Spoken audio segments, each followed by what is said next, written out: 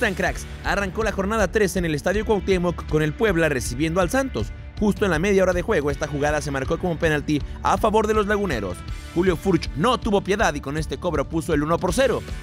El Puebla tuvo sus chances, pero Acevedo salió en una gran noche y al 42 David Andrade anotó el 2 a 0 definitivo. El Santos se metió de lleno en la zona de repechaje. El líder del torneo, el León, recibió al Mazatlán. Los de Sinaloa sorprendieron adelantándose con este gol de Sansores. La Fiera batalló un montón hasta que a 8 minutos del final, Jean Meneses anotó de tiro libre el gol del empate. En tiempo agregado vino la polémica, pues esto se marcó como penalti para el León. Así, en la última jugada del partido, Ángel Mena le dio la victoria a la Fiera, que se mantiene como líder del torneo. ¿Por qué polémica? Porque al final del partido, Valencia, entrenador de Mazatlán, se quejó del arbitraje. Creo que hicimos un muy buen partido, pero bueno, nuevamente en tres partidos consecutivos decisiones arbitrajes nos están, nos están eh, echando el, trabajo por, por la borda, ¿no?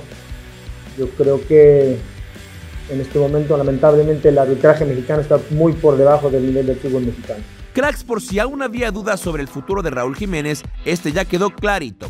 Los Wolves anunciaron, con ayuda de las mascotas del delantero mexicano, que Raúl renueva su contrato con el equipo de Wolverhampton hasta el 2024, dejando de lado de una vez todas las especulaciones. Bueno, es muy especial para mí porque desde el primer momento, tanto Nuno como, como el club, los Wolves me, cobijaron, me dieron esa confianza que yo tanto había buscado en un equipo en, Europa.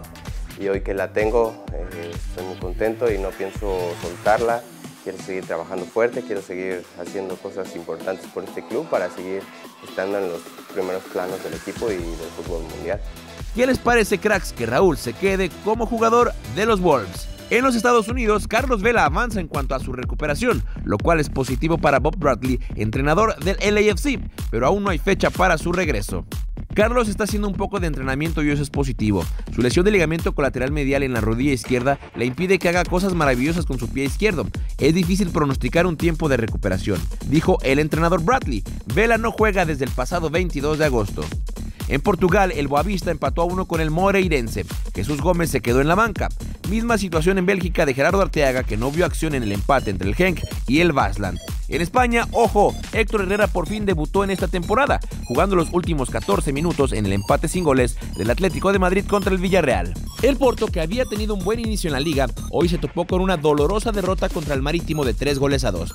El Tecatito jugó todo el partido y fiel a su costumbre, puso la asistencia para el segundo gol de los Dragones, que perdieron el liderato. Y bueno, cracks, hasta aquí llegamos en este video. Gracias por verlo, por dejar tu like y también por compartirlo. Recuerda seguirnos en todas nuestras redes sociales. Nos vemos la próxima.